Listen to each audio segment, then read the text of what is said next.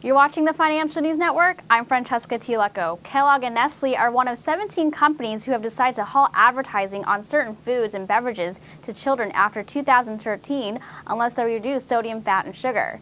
The Council of Better Business Bureaus disclosed voluntary nutrition criteria that main food courses marketed to children under the age of 12 cannot exceed 350 calories per serving and 10 grams of sugar are limited to cereals. Kellogg has a potential upside of 6.2% based on a current price of $55.46 and average consensus analyst price target of $58.91. For more updates, stay tuned to the Financial News Network. I'm Francesca Tiuleco.